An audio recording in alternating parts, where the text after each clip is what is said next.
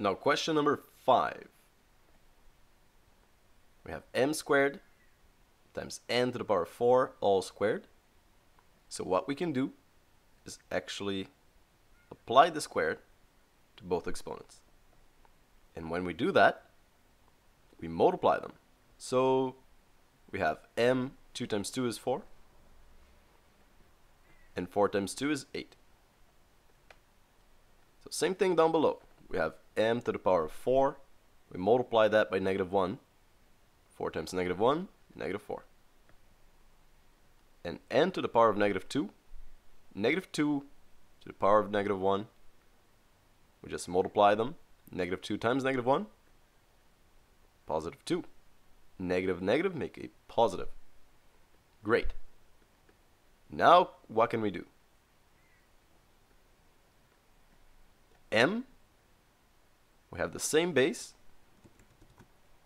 and we're dividing them so I can subtract the exponents. So we have m to the power 4 minus negative 4 times n to the power of 8 minus 2. Same thing. We subtract the exponents. So over here, 4 minus negative 4 is 8 because subtracting a negative number is equivalent to adding. And we're still multiplying m to the power of 8 by n to the power of 8 minus 2, which is 6. So that's it. Okay, now question 6. Let me change the color so that nobody gets confused.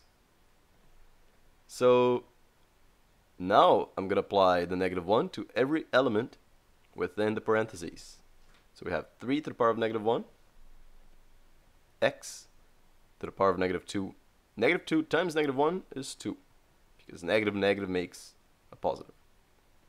y to the power of 7 to the power of negative 1 is y to the power of negative 7. 7 times negative 1, negative 7. Then z squared to the power of negative 1 is just z to, z to the power of negative 2. Because 2 times negative 1, negative 2. All over x to the power of 8, y squared, z. Now, 3 to the negative 1, I can actually bring it down and make the exponent positive. So I have 3 to the power of positive 1. And the 3 is no longer there. Okay, now I will just combine the variables. X squared over x to the 8 is equivalent to x squared minus 8.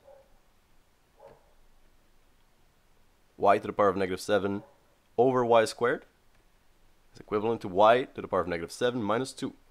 And finally the z, I have a z to the power of negative 2. We can subtract the 1 right here. There was a hidden 1 right there. All over 3. 3 to the power of 1 is just 3. Okay. Now, x to the power of 2 minus 8 is negative 6. So x to the power of negative 6. Negative 7 minus 2 is negative 9. And negative 2 minus 1, negative 3. All over 3. So of course, we want to make the exponents positive. So I can bring down all these elements, thereby making the exponents positive. We're just left with a 1 over in the numerator. So we have 1 over 3 times x to the power of 6, y to the 9, z cubed. And that is the final answer. That's it.